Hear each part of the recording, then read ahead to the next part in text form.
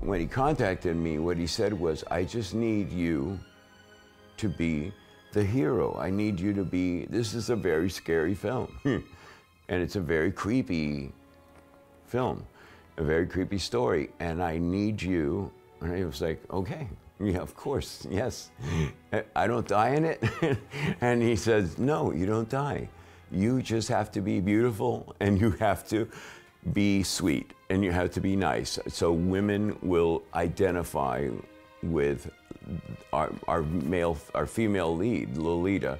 The thing about Brian is that he has, there, when he has a specific idea, eh, he, he can communicate it in a way that's very, almost blasé almost blasé because someone like me, I'm like, well, what, what, what do you want? What do you need from the? And he goes, Steve, Stevie, Steven, Steven, just be beautiful, just be handsome, and be yourself. Be be really cool and, and attractive to women. That's it.